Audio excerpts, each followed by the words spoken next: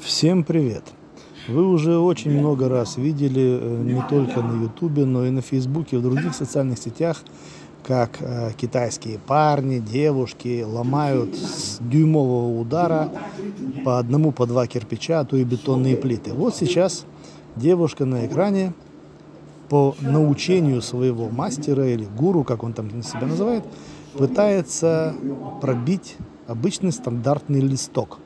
У нее не получается. Вот он ей объясняет, как это сделать. Давайте мы с вами на это посмотрим. И мне хотелось бы, чтобы вы в комментариях написали, получится ли у нее это сделать или нет. Потому что мне интересно знать ваше мнение. И потом я вам выложу полное видео, в котором будет видно результат якобы вот этого обучения. Итак, смотрите.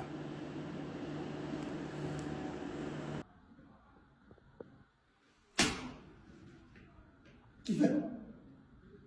不打。直就是跑。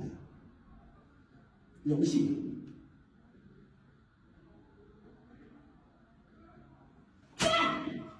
再来。